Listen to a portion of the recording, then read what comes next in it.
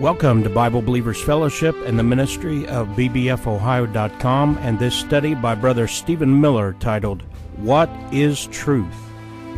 As you listen, if you have any comments, questions, or prayer requests, you can send those by email to bbbfohio at yahoo.com. That's bbbfohio at yahoo.com. Or you can send your letter by U.S. Postal to P.O. Box 662, Worthington, Ohio 43085. And now we begin our study titled What is Truth? presented by Bible teacher Steven Miller. This is part one of two. So, if you would, we're going to do a Bible study. I don't have any uh, slides or anything like that. My my computer, the little jack thing won't work, and then Mariah's computer, um, somehow the screen broke. So now we have to um, use our Bibles. It's terrible. Okay, so get get your Bible out. Well, I'll I'll give you time, and go to uh, the book of John, John chapter 18. We're going to do um, a study that's near and dear to my heart. Um, I talk to people all the time that just don't seem to understand. Um, they don't seem to understand what. Thank you. Is it? Is it on? Okay, they don't seem to understand what truth is. Okay, and I did about two, two, three years ago now, just a quick study on truth. John chapter 18. Oh, hey, there I am. Wow. John chapter 18, go to verse 38. And in this, uh, we have uh, the crucifixion of Jesus, where actually this is his trial. Jesus being tried by, uh, by the Romans, and he's being tried by, uh, by the, the Jews also. So um, here in John 18:38, we see Pilate asks a really strange question. So, and uh, Pilate actually, he said uh, in John 18:38, said, Pilate saith unto him, What is truth? Uh-huh. And I'm going to stop right there. So Pilate actually, uh, what he did was he asked, What is truth? And I intend to answer that question. Amen. Now, what, what Pilate did was he asked a question and then he thought that he already knew the answer to the question because he didn't, he didn't wait for an answer. Actually, he's asking Jesus a lot of questions. But then Pilate asks, What is truth? And then he turns around, goes outside, and proclaims the innocence of Jesus. So he, he knew what the truth was and that Jesus was innocent. That's what he did. So we'll go ahead and pray and then we'll get started. Father, please uh, bless the lesson tonight. Help me to uh, teach what's supposed to be taught and help the people to learn what they're supposed to learn. Thank you for the uh, good song by my wife. Thank you for letting my little baby be here. Thank you, Lord. In Christ's name I pray. Amen. Okay, so we're going to. Uh, so Pilate mockingly asked Jesus, What is truth? Pilate didn't, you know, he didn't wait to know the answer. Uh, he just thought that he uh, knew the answer and then he, he left. One of the things that I encounter a lot is um, this, well, I encounter it with, uh, with, with, apologists of other religions. You know, I, I had a, a, an encounter with my stepfather not long ago where he said that, uh, you know, bas- basically the, synop- the synopsis is, well, if this person believes enough that their faith will get them to heaven, then they'll get to heaven just because of their belief. And uh, unfortunately, that's not actually true. Just because you have a belief in something doesn't mean that that's actually going to happen. And so he's, people growing up, they have this, this skewed version of what, what the definition of truth is. We're going to define, I'm going to use the Bible to define truth here in just a minute. But uh, they have this, um, this rationalism, you know, this, this John Dewey, you know, rationalism from these, um, you know, they, they, they grow up in these, these, I hate to say it, you know, they grow up in these public schools and they believe that what, what everything that's taught to them is the truth, and they should believe that. The problem is, is, is everything that's taught to these kids in these schools is not the truth. They have this, this just complete uh, lack of um, education while they're being educated. And what, what they don't understand, you know, the, the, pub, the public school, they get up there, and even private schools, they'll get up there and they'll say, well, gee, you know, the, the purpose of education is to, or the purpose of, you know, K through 12 is to get a good job and to, or, or to, you know, have good, good grades, 4.0 GPA, and then to go off to college and then, uh, you know, spend a ton of money at college or, or hopefully, you know, maybe we'll have free college one day. You know, that, that's what they say. Well, you go off to even a tech school or whatever, so you can, um, so you can learn enough, so you can get a good job, so you can have a good life, and then eventually you'll be able to send your kids to college so they can get a good job and have a good life, and then on and on and on and on. That's a complete lie. Amen. So they, they learn these things. That's what the school system teaches. Do you know, you know the reason why you go to school? Is so you can learn how to read the Bible. That's right. The most important education that you'll ever have are within these four walls. Or you could you know, go on the internet and, and learn other, other things. But the purpose of education is to learn the Bible. The purpose of education is to learn what God says. That's the truth. The purpose of education is to learn the truth. So they go off to uh, university and then they, they become, all these little kids, they become atheists or, or agnostics or, uh, or whatever. They, you know, they become liberals. And they, uh, they don't learn the truth. The truth is what's in the Bible. We're actually going to we're actually to find that out. So you're in uh, John. I, I, try to keep everything in John um, here for the next uh, little bit. So we're going to get the definition of truth. And so turn to John. Just we'll go back. John 17, 17. And um, where is it? So John 17, 17. We're going to define what the truth is. So Pilate asked the question, "What is truth?" So we'll, we'll just answer the question for him. So in the Bible it says, uh, John 17, 17, it says, Sanctify them through thy truth, thy word is truth. Amen. So the words of God are true. Amen. So they're not just true because that's what the Bible says, they're true because they're actually true. Amen. That's the truth. We're going to actually keep on, so, so you'll be able to understand what I just said. We're going to actually have to keep on defining what the truth is. So not only is the Bible the words of God are true, but they, that truth actually stands independent of the Bible. How is that? Well, because God instituted that truth. So the words of God are true, not just because they're in the Bible, but they're actually true because that's actually the truth. I know that that seems strange, but we'll, we'll move on. All right, so go back to John 16, 13. And basically, what that means, what I just said, was that there, there is truth that's outside the Bible that God made. God makes everything that's true. Um, like um, there are certain sciences that, are, that, that have truth in them, and they have lies in them. There are certain books, other books, like you, you pick up an auto manual, and it's chocked full of truth. But that doesn't mean that that's the Bible. You know, so there is truth outside the Bible. You, you can pick up pretty much any automobile manual and it will be uh, a perfect book. Everything in it will be true. And the reason why is because if you take that automobile manual and you build a car with it, the car will work. It'll work, every, everything will work if you go by the auto manual. And they're perfect books. A man made that perfect book.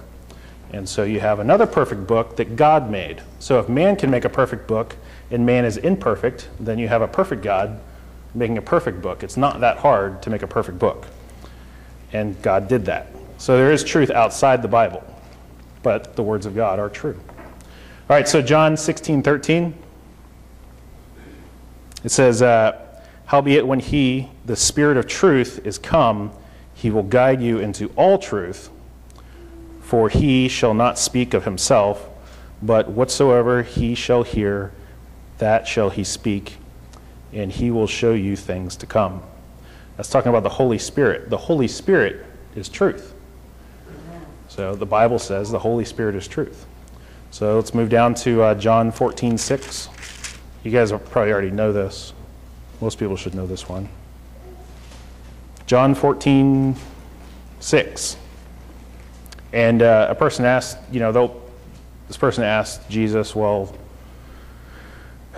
well, John 14, 5, it says, uh, Thomas saith unto him, Lord, we know not whether thou goest, and how can we know the way? Jesus saith unto him, I am the way, the truth, and the life. No man cometh unto the Father but by me. So you notice the, the words there. Jesus said he is the truth. Jesus is the truth. He also said, I am, which is actually prophetic. If you go back to uh, Exodus 3.14, go back there. I don't have a little slides, so we got to do a lot of Bible turning tonight. I, I apologize. This would be on a slide, but it's, it's not. Exodus 3.14, and uh, oh, you don't have to put the book up there for them. That's fine. They got, they got books at home. They better have a Bible at home. Exodus 3.14, this is why it's important that Jesus said, I am the way. Exodus 3.14 says, And God said unto Moses, I am that I am. And he said, Thus shalt thou say unto the children of Israel, I am sent me unto you. So I have to, sorry, I'm to have to move that a little bit. this microphone is killing my mojo. We're to have to. Anyway, um, so we have a definition of the truth. The definition of the truth is actually, according to the Bible, it's really crazy. The definition of the truth is basically that which is. I, the truth is that which actually is. So you have God saying, I am. Well, He is. He, and we have the Bible saying, well, the truth, or God is the truth.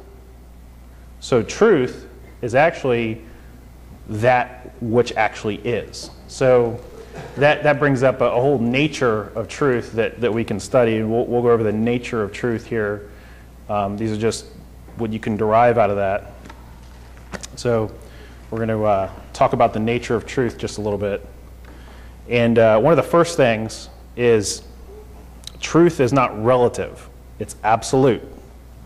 Um, if something is true, it's true for all people, at all times, and in all places. Amen. So let's think about that for a second. If, to, to just give that a little understanding. So it's like what's true for you is true for me, what's true for me is true for you. So you have uh, arguments against that. Like, you, you, guys ever remember seeing that um, uh, it was a meme with the dress, and uh, where the dress looked purple in one thing or blue in another, and it, what was it? Blue and blue and gold. The blue and gold dress. It went around. It went around the internet. You know, it was all over Facebook. So probably don't know what I'm talking about. You know what I'm talking about. I'm talking to the lady behind you. Anyway, but um, so there was the blue and the gold dress, and depending upon like depending upon how how your eyes reacted to the color on the screen, you you would you would look at that and you would say, oh, okay, well that's blue, and then another person would come along and say, oh, it's it's what gold. So you had these two people thinking that the truth was that it was this color or this color. Well, the problem is, is the truth is, is that that dress is actually a color. It just it depends upon your perspective of, you know, it depends upon how the light is reacting with your eye. So the truth is, yes, the dress is a color, but okay. So if I looked at the dress, I saw it as gold. Was it true that I saw that dress as gold? Yes, yes it was true that I saw that dress as gold. Mariah looks at it and says, "Oh, she sees what blue." She sees blue. Was it true that Mariah saw that dress as blue? No. Yes. Yes, it is. A thousand years from now, there's going to be some astronaut somewhere on, on some distant planet. to that astronaut on a distant planet a thousand years from now, is it true that Mariah saw that dress as blue? Heresy. She did see that dress as blue. So e- even if, oh, it's heresy because of outer space? Yes. Yeah. Okay, so a thousand years from now, when we're all in heaven, Amen. and uh, and you know we're all in heaven after you know, or uh, actually that would be heresy too. Two thousand years from now, when we're all in heaven, Amen. and we're well, except there are some people who won't. Anyway, so uh, next year, would it be true that, that Mariah saw that, that person or saw that dress as blue? Yes, it would be true. So it's true for her, it's true for me, it's true for you, it's true for everybody. That is the nature of truth. Okay, just because something does have um, a certain perspective doesn't mean that there is not truth. Truth does exist, and you can know what the truth is. This is uh, it's a, this is a revolutionary, crazy idea for people outside of this room. You have no idea how crazy that idea is.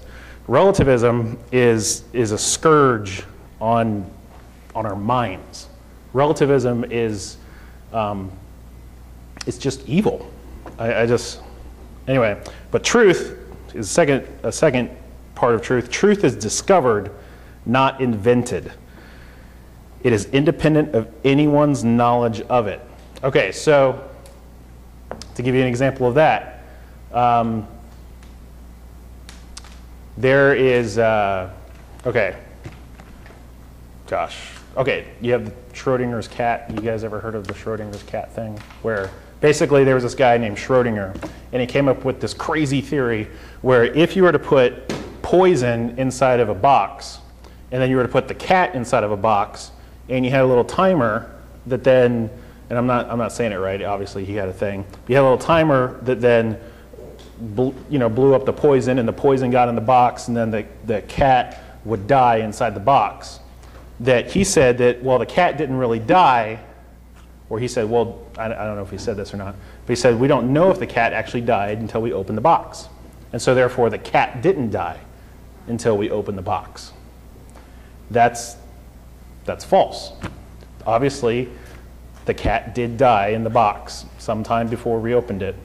But, and that is true. So in, truth is actually independent. It's the old, uh, well, if a tree falls in the woods, this is, this is modern day Schrodinger's, is if a tree falls in the woods and nobody's around to hear it, does it actually make a sound? What do you, what do you guys think? It makes a sound? Raise your hand if it makes a sound. So I've got one person who thinks it doesn't make a sound and he's asleep. So, so um, yes, it does make a sound. And how do we know that? Well, we don't. We, we have no idea. There's really no way to find that out until we actually hear it. But I can tell you, given all the other trees that I've heard hit the ground, is 100% of all the other trees that I've heard, me personally, heard hit the ground, they all made a sound. And if you ask anybody out there, does a tree make a sound when it hits the ground? Yes, it makes a sound. But we actually don't know that if that one particular tree made a sound when it hit the ground.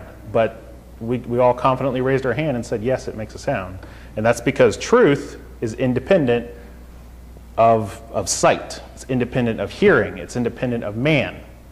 So, um, in the beginning, God created the heaven and the earth. Well, that was before man. Did that actually happen? Yes. Yes, it actually did happen. That's the truth. The truth is, yes, it did happen. So it doesn't take people to make truth.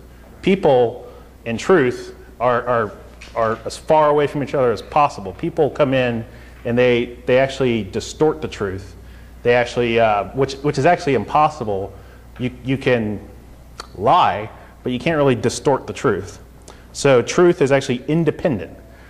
Truth is a lot like God if you have a if you have a person and a god or and god the person doesn't change god. The person can't change truth. Remember the bible said jesus is truth.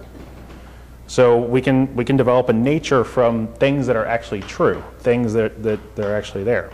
So truth is unchanging even though our beliefs about truth change. So, there's an argument that's near and dear to my heart about the flat Earth. We're gonna, I'm gonna talk about the flat Earth. Okay, so I'm sorry. We have we have a we have people who believe in flat Earth, and we have people who don't. But does that does that change the truth about the nature of the Earth? No. No. So you can have a flat Earth or a round Earth, but whatever you believe doesn't actually change the nature of the Earth. It is what it actually is. So hey, come on in. Good to see you. Don't worry. I'll do a synopsis real quick. No, don't worry about it. Okay. So, truth or our beliefs don't change what actually is true. Okay, if water is wet and you believe it's dry, that don't make it dry.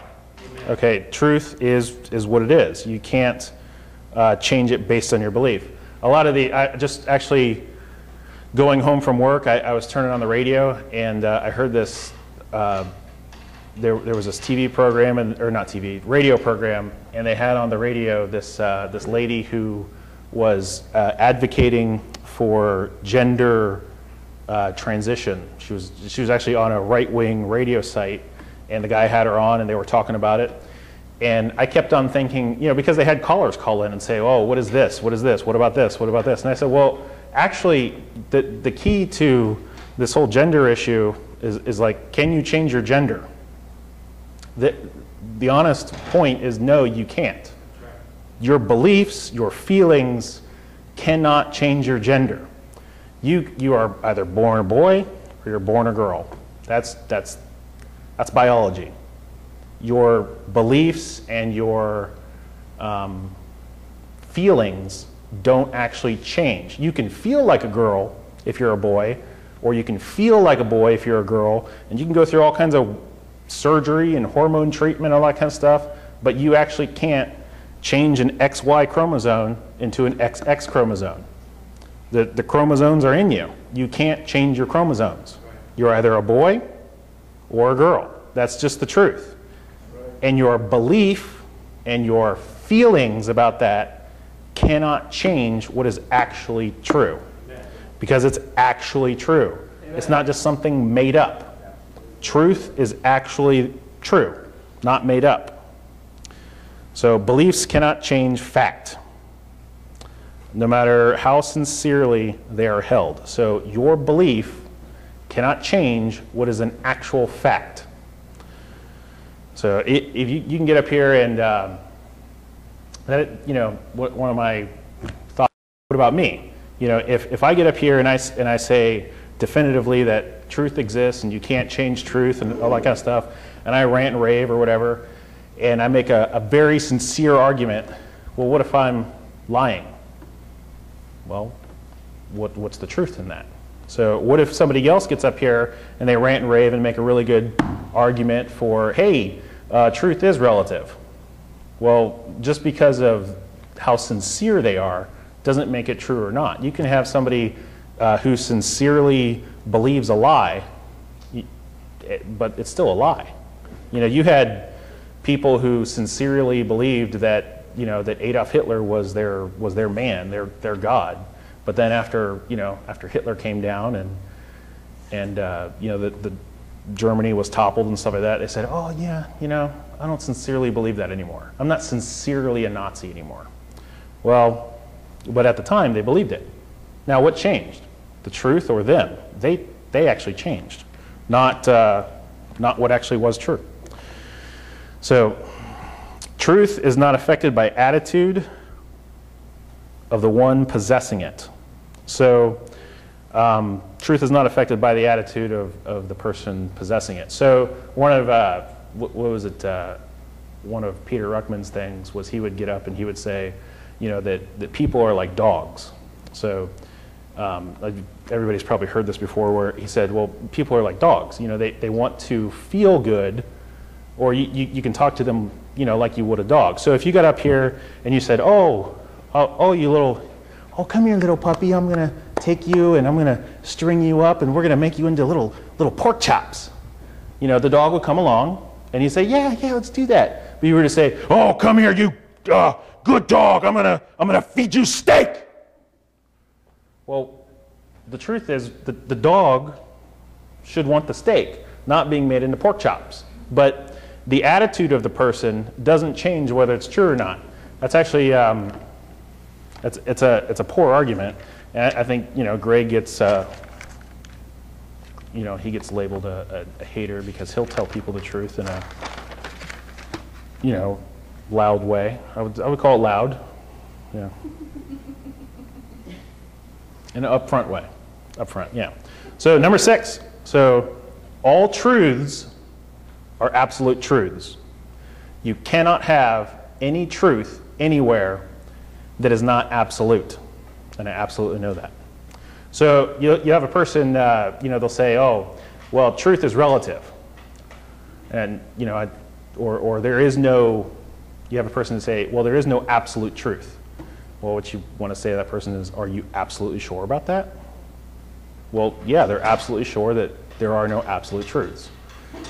So, right, yeah, that's a good point. There are absolute answers. Two plus two does indeed equal three. Four. Yeah, four. I'm preaching. I'm preaching lies. So um, all truths are absolute. Um, even truths that appear to be relative are really absolute. So as we go back to the dress, that appears to be a relative truth, the, the dress, you know, depending upon how you look at it, that's what's true. That's wrong. They're both different. They're both, this, they're both a truth. One's true, the other's true. So, truth is knowable. This um, truth is knowable. That's a big one. So we're gonna we're gonna actually stop for a little bit right there, and we're gonna talk about this. Truth is knowable kills liberals. They hate it. They hate that you can actually know what the truth is. That's one of the biggest one of the biggest. Whenever I talk to a liberal, that's one of the biggest things that that stops them is that I say, well, you can know the truth. Well, you know, they, they say, no, you can't know the truth. That's, that's one of the biggest things that, that stops a person from getting saved. Right. You know, go, go to um, Go to Acts 4 12, we'll say.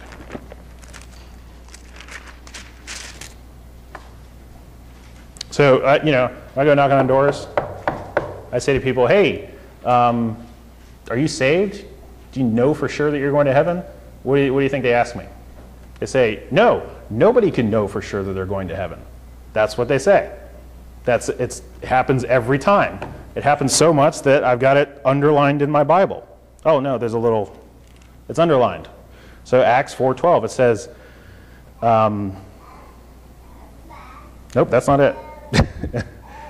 As well, actually, it says, neither is there salvation in any other, for there, that's not it. I don't know where it's at. But basic, it's 1 John 5, 13. Yeah, I'm sorry. Go to 1 John 5, 13. That's actually what it is. It starts at 11. It starts at 11. I could almost quote it for you, but I don't.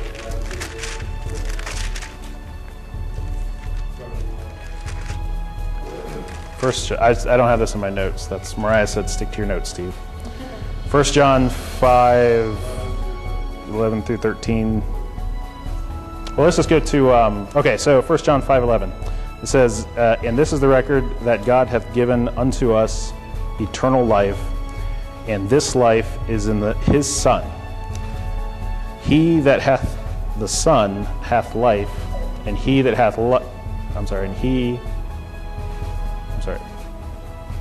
he that hath the Son hath life, and he that hath not the Son of God hath not life. And then it goes on to say, These things have I written unto you that believe on the name of the Son of God, that ye may know that ye have eternal life. I'll say it again. These things have I written unto you.